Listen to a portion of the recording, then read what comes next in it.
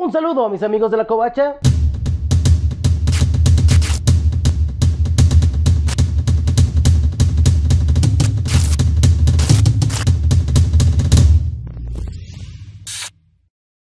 Gracias por acompañarnos en otro video review. En esta ocasión vamos a volver a analizar un simbiote. Como se han de dar cuenta, son de mis figuras favoritas. Adoro todo lo que tiene que ver con Venom. Pero en esta ocasión vamos a volver a ver el Black Suite de Spider-Man, pero no cualquier Black Suite. Vamos a ver la versión que utiliza contra el Red Goblin, que como sabemos es Norman Osborn combinado con Carnage. Es una versión del traje negro que lo muestra más estilizado, con los ojos un poco más rasgados de alguna manera como que el simbiote saca los ojos del traje y tiene la araña negra un poquito más estilizada en el pecho. Estoy hablando del Marvel Legends que nos lanzó la Building Buff de Kingpin. Vamos a checar sus accesorios. Vamos a ver que por la parte frontal tenemos el blister transparente, donde podemos ver a Spider-Man ahí dentro. Tenemos por el lado lateral la fotografía clásica característica que nos muestra Marvel Legends.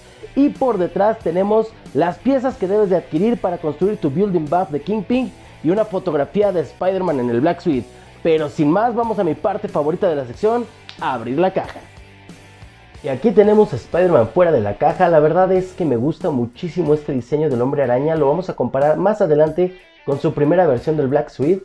En esta versión, Peter Parker llega a un trato con Eddie Brock en el que coinciden que para poder derrotar al Goblin Rojo o el Red Goblin, necesita Peter Parker volver a hacerse uno con el simbionte ya que Venom fue este, herido gravemente en batalla, Venom con Eddie Brock, así que se desea pasarse a su primer huésped, que fue Peter Parker, y liberan una encarnizada batalla, una de mis favoritas en los cómics de la versión de El simbiote negro. Vamos a ver que tiene con accesorios interesantes, como les comentaba, viene con el Building Buff de King Pink, un rostro agresivo gritando, y viene con uno más serio, la expresión serena de, Wilson Fisk. Viene con un par de puños intercambiables para que tengas el juego de ambos, es decir, unas manos semiabiertas y un puño cerrado que están contrariados al que ya trae la figura por default en la caja. Cabe destacar cierta anatomía que voy a señalar ahorita a este personaje. Vamos a medirlo.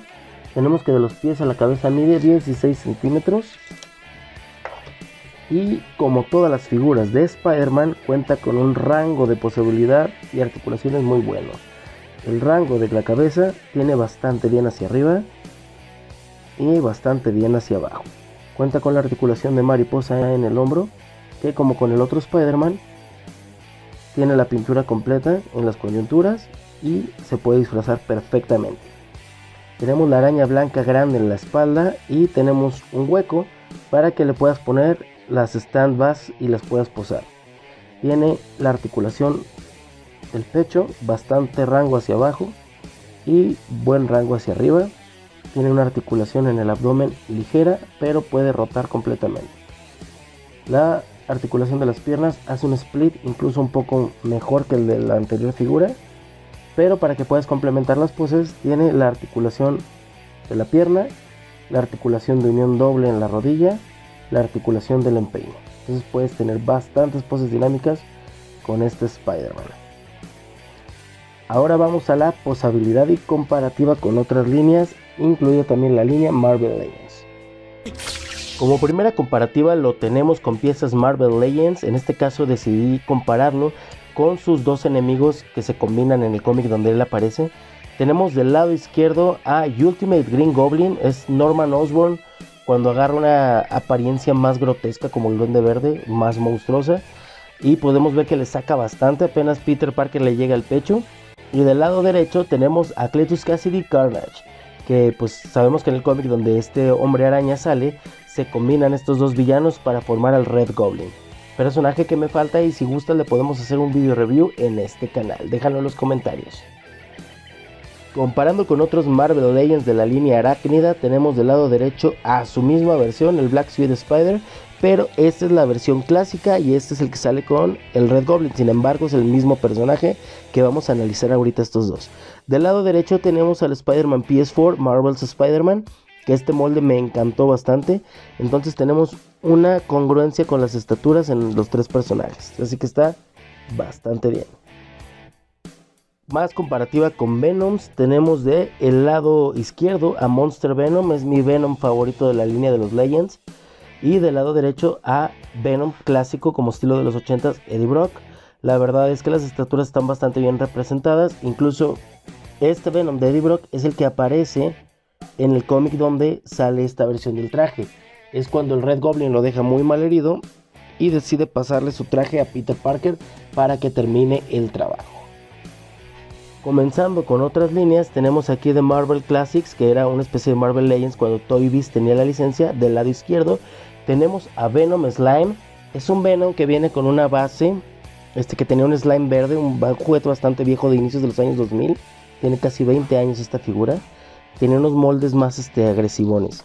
Era de la misma escala, pero pues tenemos que es el Venom clásico, clásico, ya que tiene el negro azulado en el traje y tiene el calzado estilo de botín.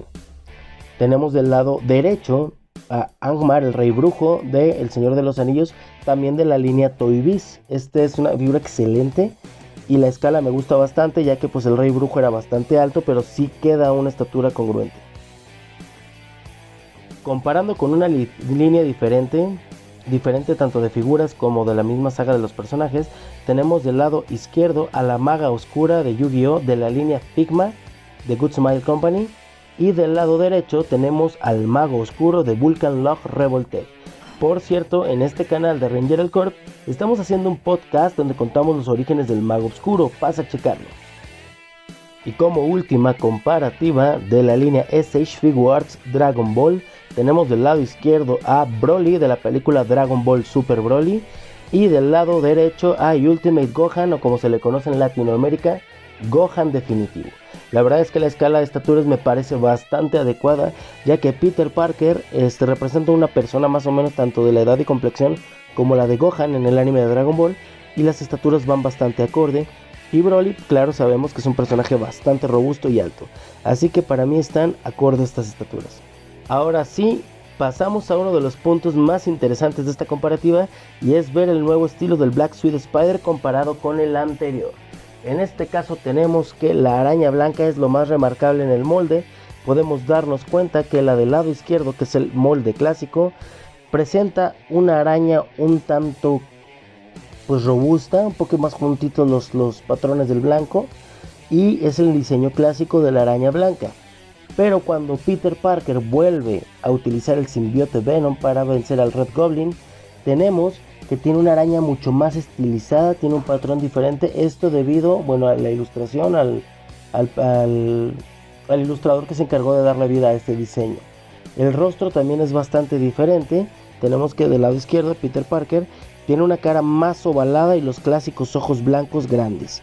Y del lado derecho tenemos que la cara es un poco más redonda pero afilada de la parte baja. Los ojos son alargados y cabe destacar tal vez un poco. Cabe destacar que están sobresalidos del traje, cosa que no es exclusiva de Marvel Legends que le hayan hecho este detalle.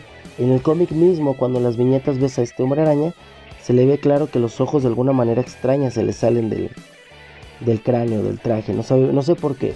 No sé si es el simbiote que está sobresacando los ojos.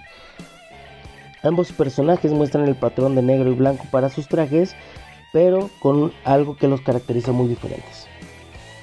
En la nueva versión tenemos las manos ya son como garras en lugar de la clásica. Además de que bueno, el rombo de los lanzatelarañas en este caso es como un tipo diamante y el clásico es un rectángulo. Pero algo que me gusta que hayan implementado ahora con Peter Parker, que solo habían hecho con Eddie Brock, es los pies. En el diseño clásico son como botines negros, porque el simbiote como que envolvía todo el cuerpo. Pero del universo Ultimate para acá le han ido dando un estilo más como de garras a los pies y eso me gusta porque finalmente estamos viendo un ente monstruoso. Personalmente, como fan de Venom, a mí me gusta que le hayan cambiado ese diseño de los pies. Hay gente que opina lo contrario. Tú puedes dejarnos tu, tu opinión en la caja de los comentarios. Vamos a ver si tienen un switch head, si se le puede cambiar la cabeza. ¿Y cómo se vería? Es casi seguro que sí, porque estos moldes son de unión de bola y son universales. En los Legends prácticamente todo se les puede cambiar. Y en efecto hizo clic sin problema. Se ve muy bien, la verdad es que se ve padre. Se ve muy estilera esta cabeza con el traje nuevo. Vamos a ver cómo le sentaría la cabeza nueva al traje viejo. También hizo clic bien. Se ve padre también. No le encuentro mucho inconveniente. Se ve como el de Marvel contra Capcom. Tenía como que este estilo de cabeza, pero era el traje clásico. La verdad es que creo que también lucen bastante bien las cabezas simplemente cambiadas de cuerpo. Aunque para mi exhibidor, sin lugar a dudas, los voy a dejar como estaban.